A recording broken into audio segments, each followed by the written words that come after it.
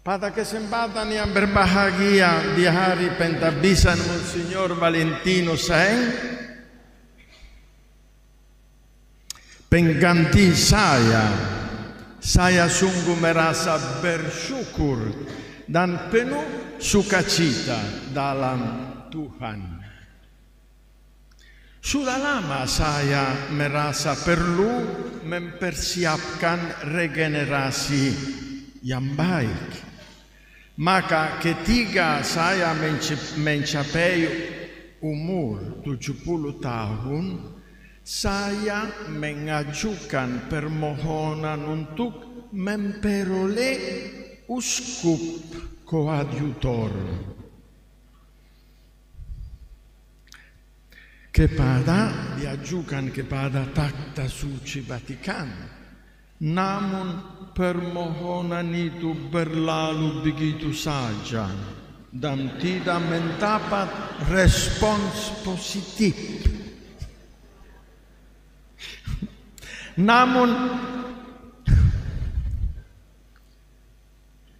seturut kitab suci eh, bukan menurut kitab hukum kanonik gereja Ketika uskup mencapai usia 75 tahun, diminta untuk mengajukan permohonan pengunduran diri sebagai uskup.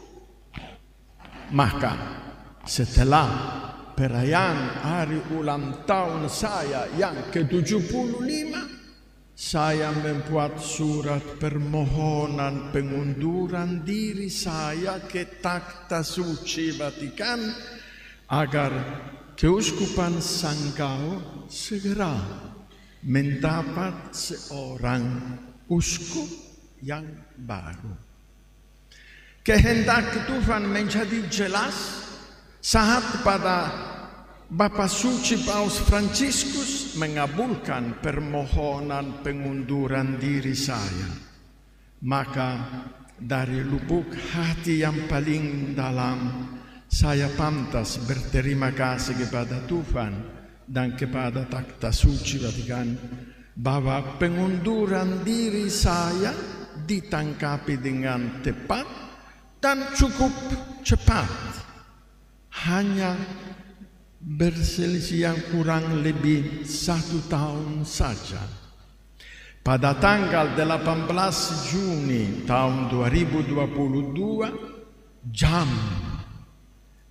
17 atau 5 sore permohonan pengunduran diri saya dikabulkan dan umat keuskupan Sanggau dapat menyaksikan pengumuman pemenuhan harapan yang pasti regenerasi kepemimpinan keuskupan Sanggau di gereja katedral yang tidak dan yang indah dan artis ini.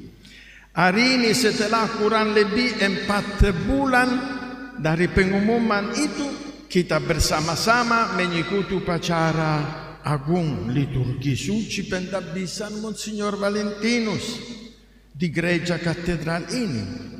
Maka saya mengajak Anda, seluruh umat keuskupan Sanggau dan semua saja untuk bersyukur kepada Tuhan yang Maha Rahim karena keuskupan Sanggau telah memiliki uskup baru yang muda dan penuh semangat serta putra Kalimantan yang lahir dan tumbuh dari wilayah keuskupan kita sendiri. Monsignor Valentinus adalah seorang yang kaya dengan bakat-bakat dan kemampuan nalar filsafat sehingga pasti bisa membumikan dan mengakarkan iman Kristiani serta menghadirkan di tengah umat beriman Tuhan Yesus Kristus Imam Agung yang lembut dan rendah hati serta gembala yang sejati. Sejak hari ini dan seterusnya beliau mewakili Kristus, Sang Gembala yang baik, yang membangun kawanan domba Allah dalam kebenaran dan kesucian, melayani dan mencintai sepenuh, sepenuh hati dengan dedikasi yang tinggi pada setiap kebutuhan umat beriman dan semua orang yang berkehendak baik yang tinggal di keuskupan ini tanpa pandang bulu.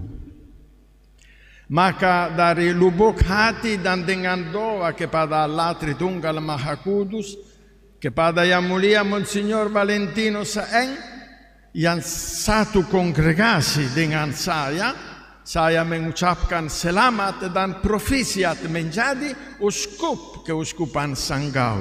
Semoga Monsignor Valentinus selalu diubah dan bisa mengubah diri menjadi citra Tuhan Yesus yang melayani dan mengasihi dengan rentah hati, menyerahkan diri secara total untuk menuntun umat keuskupan Sanggau di jalan kebaikan menuju Allah. Akhir kata, saya mengucapkan banyak terima kasih atas kehadiran Duta Besar Vatikan, Bapak Kardinal, para uskup agung dan uskup lain, para undangan dan umat keuskupan Sanggau dalam upacara konsekrasi uskup Sanggau ini. Terima kasih yang tak teringgang kepada seluruh panitia yang telah berkorban tenaga, waktu, pikiran, perasaan, dan uang demi mempersiapkan dan mensukseskan upacara pentabisan Uskup Sanggau hari ini. Semoga kerja keras pengorbanan pengabdian dan kemurahan hati saudara dan saudari mendapat ganjaran rahmat dan berkat yang melimpah dari Allah, sumber kebaikan. Terima kasih juga kepada para donatur, baik pribadi atau lembaga, swasta atau pemerintahan yang tidak bisa saya sebutkan satu persatu. Khususnya pemerintah Kabupaten Sanggau dan Sekadau. Semoga Tuhan membalasnya dengan rahmat melimpah. Demikian yang bisa saya sampaikan dalam sambutan saya. Selamat siang bagi kita semua. Salam sejahtera. Tuhan memberkati. Amin.